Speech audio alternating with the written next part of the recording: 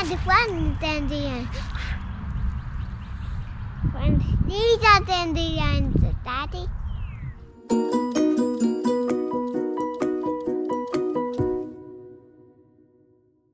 So we came out this morning to finish working on uh, the dash, the bulkhead, blah, other stuff. And the floor we just redid underneath the driver's seat and that little side console thing are wet because it's been raining and we can't quite figure out what it is. We have no leaks anywhere else, but we think it is the driver window. So we always come on the bus thinking we're going to get to do something else. Um, but that's what we're going to do today is we're going to pull that window out and reseal it. And hopefully that solves the problem because we just spent a whole lot of time fixing the floor down here and installing that side console to come out here and see things soaking wet. So.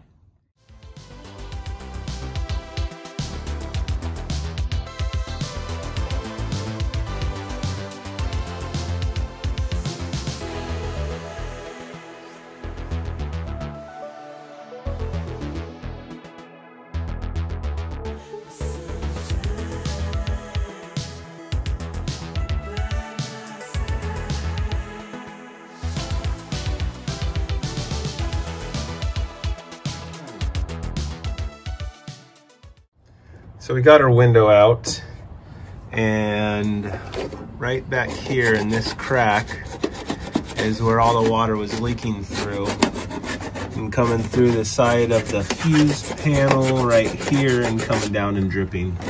Um, so that's where our leak was. We got the window out, we're cleaning it up, and then um, we're gonna reseal it with some butyl tape, um, some new weather stripping, and um, hopefully that'll fix our issue and we will have a wake-free bus. Yes. Finally.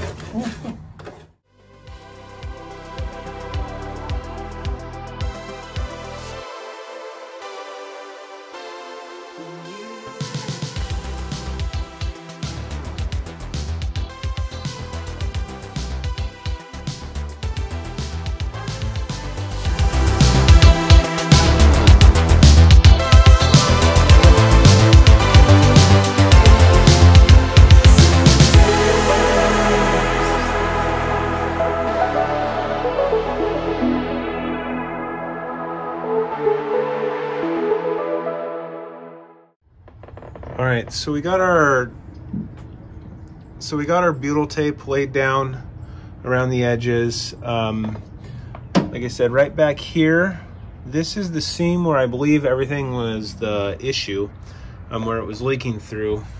Because on our frame, you have these little holes that um, are drilled in, but there were no screws in there. There wasn't a patch over the top of them or anything like that. So I think what was happening is the water was going through the through these holes into the frame and then leaking down that seam. Um, but we got it sealed up with butyl tape. We're getting ready to put the frame back in um, with the windows and hopefully we will be leak free. It's not supposed to rain for another week or so. Um, so we won't really be able to give it a test, but at least it'll be in again and um, we're just gonna hope for the best.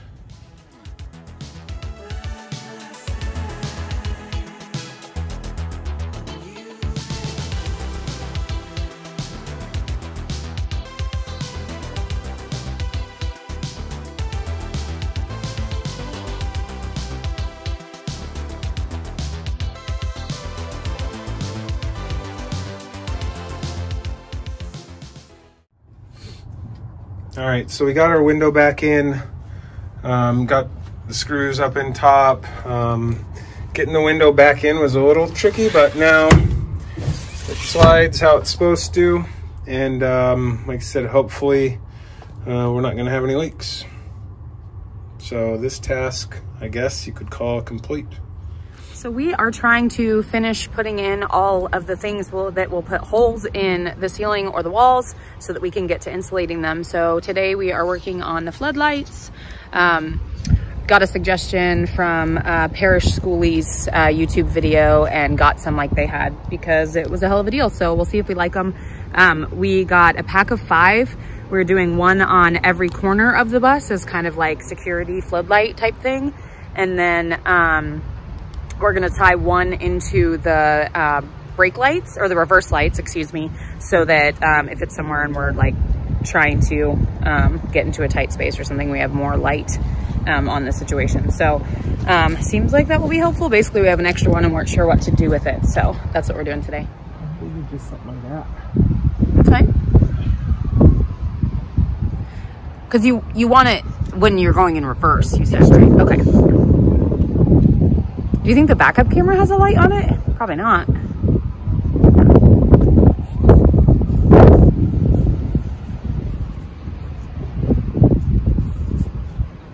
want something to actually clean it with, or are you good?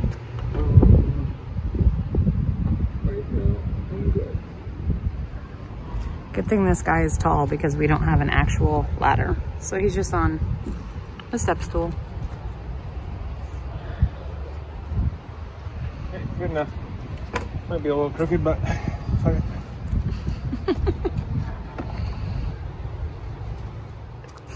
I'm not afraid of drilling holes into the bus anymore. Not after so many. That's not gonna go into the light, is it? Is that a dumb question? Yep. I'll be quiet. He's super annoyed with me today and everything I say.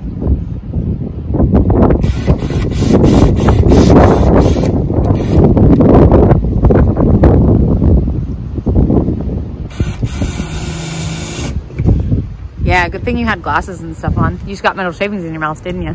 Yep.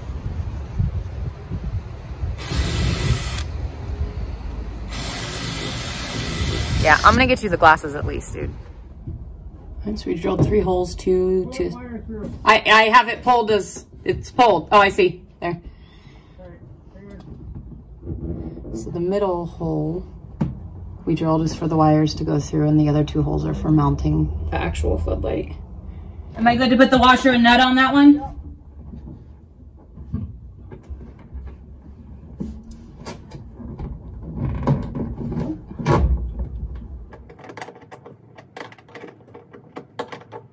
We have a ratcheting one that's this small. You might be able to find one. That would be less annoying and much quicker. Give me just a second.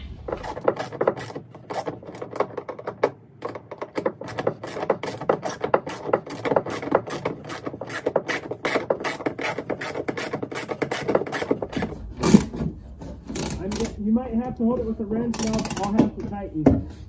Okay, what's that? Because you're probably hitting to the end of the socket. And it's not a deep socket. Oh, I see. Yeah, you're probably right. And I'm getting butyl tape in it. Okay, next one. Okay. Am I starting with the socket or are you just doing it from the get-go? Huh? I'll do the wrench. Okay, cool. Let me get the let me get the washer and the bolt on first or the nut or whatever.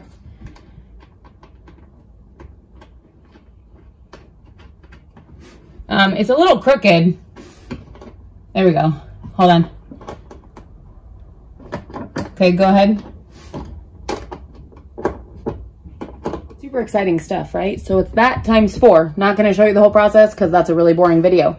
But um, for reference, uh, we got the 30 watt bright white ones. Um, hopefully that's enough. We wanted them 12 to 24 voltage and there's different kinds on there. But anyway, for reference, if it matters, that's what we picked. And we'll let you know at some point how we feel about them. So we've been working all day without recording any of it. And I think um, we've just kind of enjoyed not having to stop every five seconds to document stuff. No offense, but so we are framing out Preston's bed. Um, we finished installing our floodlights, which was boring to document beyond what we already showed. Um, what else did we do today? Oh yeah, we put in our um, final travel seat. So we've been making good progress, but I thought I would pause to show you what we're doing here and explain the plan for how we're gonna frame out Preston's bed. Okay, so this is gonna be Preston's bunk. We want to frame it out so we can put some insulation down because this engine gets hot. He's never gonna be sleeping up here or hanging out up here when we're driving. But even if we drive for, you know, a few hours in the day and then stop kind of abruptly to immediately go to bed, he's gonna be pretty toasty. And he's a warm-blooded kind of guy anyway. So we're gonna insulate this. Um, and then here is kind of a wonky spot to frame out. So we're gonna um, we're not 100% sure, but we're gonna frame out this way and then kind of down and around it because we can't drill into this. This is like the opening to the engine from inside the bus.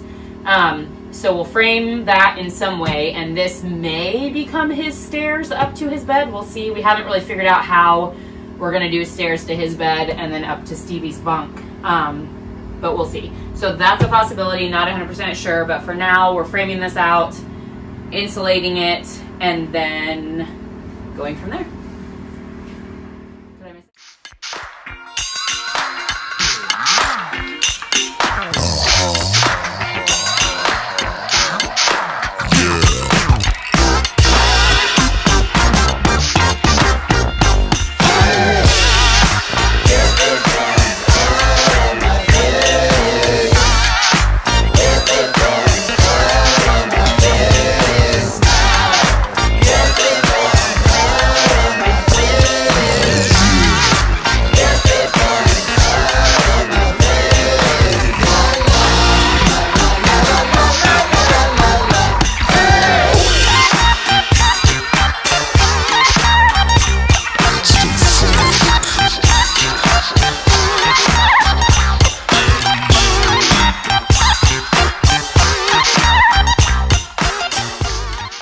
Okay, so last night we finished up this much of framing the bed. Like I mentioned, we have to figure out what kind of stair situation we're going to put there. And honestly, we're arguing a bit over how to handle the door for the shower. So if you have any ideas, Shane wants to do a cedar sliding like barn door of sorts, which will probably work, but something about wood near water. And I know cedar is like antimicrobial or whatever, but uh, I don't know. Part of me just wants like a half wall that you just like step into and shower, but then you'd have water everywhere. So I don't know. Um, not really sure what we're gonna do. Um, don't want just like a basic um, shower door. So if you guys have ideas, throw them in the comments below. Would love to hear any and all ideas because we're kind of stuck on that. And someone said the other day, they said, as you're building, the build guides you in a direction. And that's so true. So maybe we'll find what we're gonna do when we get there, but right now we're stuck. So help.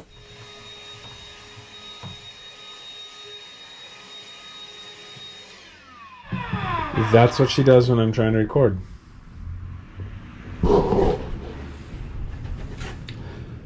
So we're gonna frame out our pantry area today, put up some reflectix um, nothing major, just some small things that need to get done.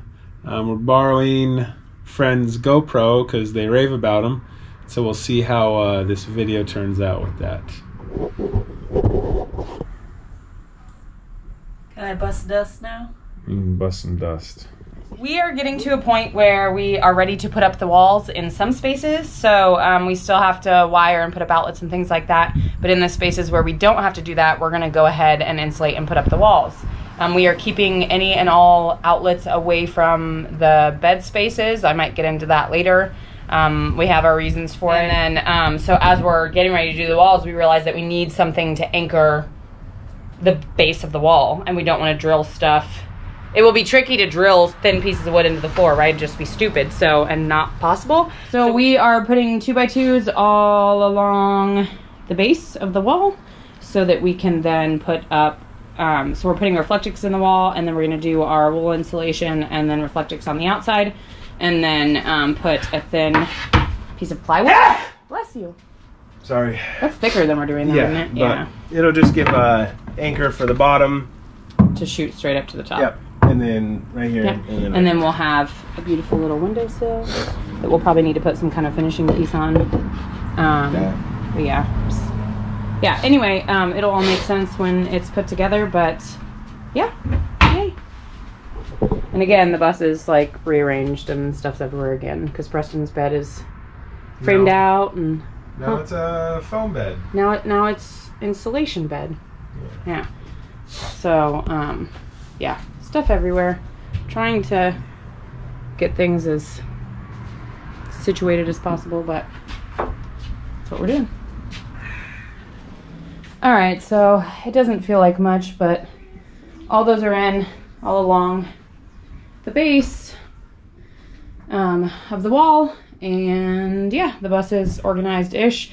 we're getting all that Reflectix in. So moving the wood was nice so I could get to all those window spaces or wall spaces I couldn't get to before. Obviously I still have more to do. Uh, but we're getting there. So yeah. Um, it's hard because some of this stuff doesn't feel like much progress. Shane boxed in the rest of that, like fuel access, whatever the heck that thing is on the side of the wall. Um, but we can't do much more with the pantry space, and we have the walls in. So that was one of the motivators for doing the walls. So um, everybody, not everybody, a lot of people do the beautiful like roll out pantries in their buses, and I love those, and I wanted one so bad, even before bus stuff. Um, but honestly, we really love all the windows and we're going to do our damnedest to keep them all wide open, completely unobstructed. Obviously, there's going to be a few situations where that's impossible to avoid. Um, but really, the only place that is going to be totally blocked is where the fridge is. So, um, yeah.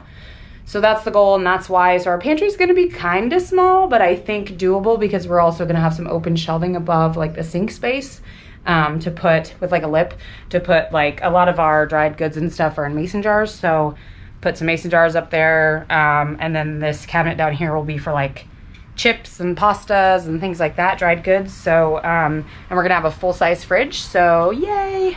Um, but all in all, it's you have to make sacrifices here and there um, to get the things that are really important to you. So it all works for us. So I am a little bummed that I'm not to get the beautiful Pinterest, Instagram worthy uh, rollout pantry, but it is what it is.